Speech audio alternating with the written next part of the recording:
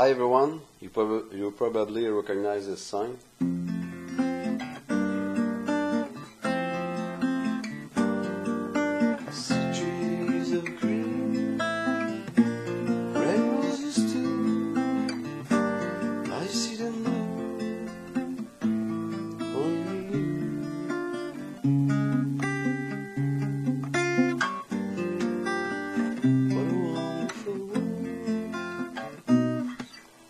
So on. So uh, all the chords and the lyrics are there, so you want to sing along with the song, you can do it. And uh, the chords are not too difficult uh, after a while. So enjoy.